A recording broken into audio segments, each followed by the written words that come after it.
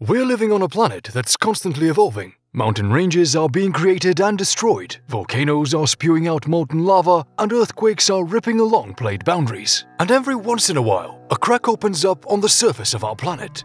Africa, the place where modern humans arose sometime between 250 and 300,000 years ago, is slowly becoming the birthplace of a brand new ocean. And we're talking about an actual creation of an ocean that began in 2005. That year, a 35 mile long crack opened up in the Ethiopian desert Afar. Now, these things happen all the time, it's just the way our planet is. However, what got people worried is the fact that this crack opened up in a matter of days, and it was as wide as 20 feet at some points. But before we get to the good stuff, make sure you subscribe to the channel and tap the bell icon to enable notifications and don't miss our videos.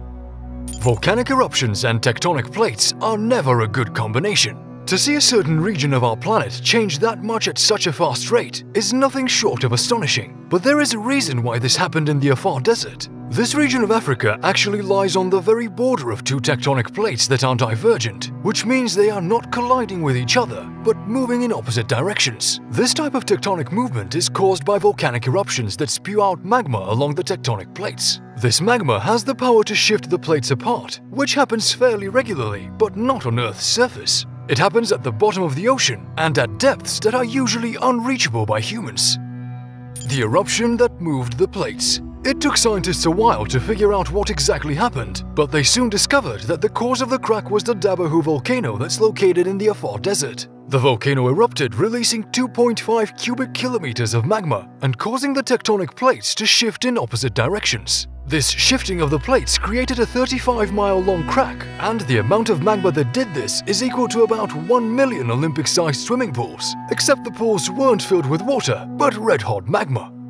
And that was just the beginning. The movement of the tectonic plates hasn't stopped since the crack opened, mostly due to earthquakes that take place around the area, forcing the magma to the surface. The crack is expanding at a rate of less than 1 inch per year. Additionally, a new layer is being formed, and it seems to have the same appearance as the crust that already exists at the bottom of the ocean, where such tectonic movement has happened before. According to Cynthia Ebinger, professor of Earth and Environmental Sciences at the University of Rochester, this is not an unusual process. Earth's history is full of similar events, but most of them take place among mid-ocean ridges across our planet. These events usually happen so fast that there is not enough time to mobilize a ship and get a crew to the location. The crack in the Afar Desert is one of the few places on Earth where we're able to see the process in detail, Ebinger says.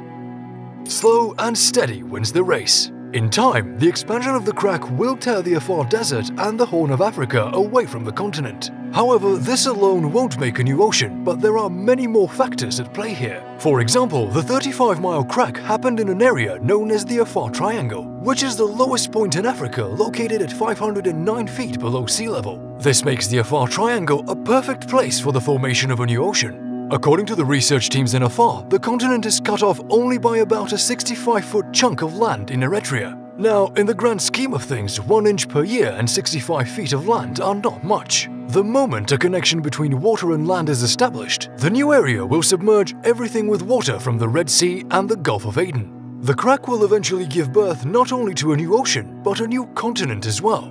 Nevertheless, this is a process that will take time, so don't go planning your vacation just yet. Professor Ebinger says that according to her team's rough calculations, it will take anywhere between 100,000 and 1 million years before the ocean actually forms, which is a blink of an eye in geographic terms.